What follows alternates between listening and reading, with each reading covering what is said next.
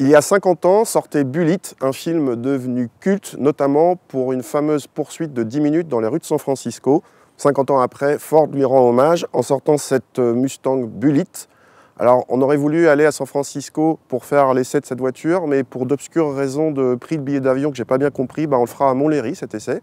Cette Bullitt gagne 14 chevaux par rapport à la Ford Mustang GT 5 litres normale. On passe donc de 450 à 464 chevaux.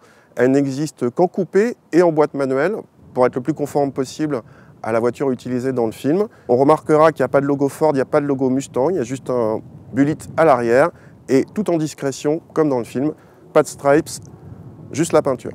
La star à l'intérieur, c'est le pommeau de levier de vitesse en bakélite crème, comme dans le film.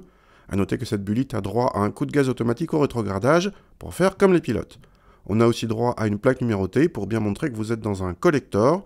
À part ça, on prend logiquement l'intérieur des autres Mustangs avec un combiné d'instruments numériques modernes, un grand écran central avec toutes les fonctionnalités d'actualité, la petite rangée de touches chromées façon ancienne et même des fioritures comme les sièges ventilés. La qualité de présentation est un peu sommaire pour une GT, pas luxueuse, mais pas non plus indigente. Les places arrière sont un peu plus grandes que dans une 2 plus 2, mais pas beaucoup, que ce soit en espace aux jambes ou en garde au toit. Le coffre dépasse les 400 décimètres très bien pour une GT.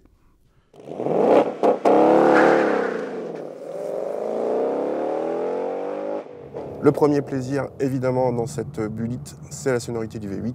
On vous en fait tout de suite profiter.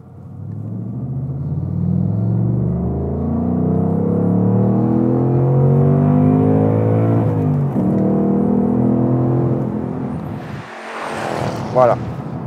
Ça, c'est pour vous mettre dans l'ambiance. Alors, ce V8, les 14 chevaux de plus que la V8 GT, bon, on les sent pas vraiment. Il y a quand même un petit gain en performance.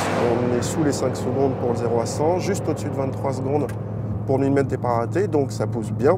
On est à peu près au niveau d'une Audi S3 par exemple. Le V8 est plein évidemment, mais euh, malgré tout, vu que les rapports de boîte sont assez longs, eh ben, il ne faut pas hésiter à monter dans les tours. Euh, on va dire euh, à partir de 5000 tours, il explose vraiment.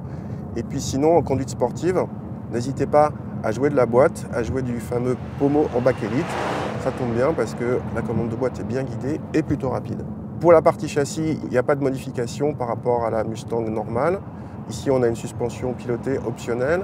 La voiture, c'est être relativement confortable pour euh, ce type de GT et donc facile au quotidien.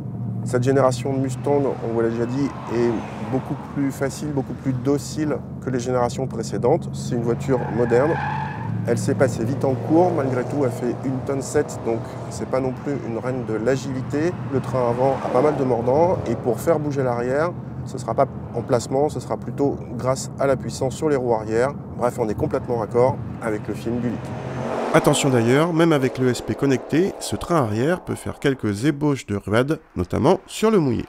Évidemment, avec un V8 atmosphérique 5 litres, ça consomme, et le malus est au maximum avec 10 500 euros. Ce malus est à rajouter aux 55 000 euros de la Bullitt, soit 7 000 de plus qu'une Mustang GT V8 coupé BVM normale.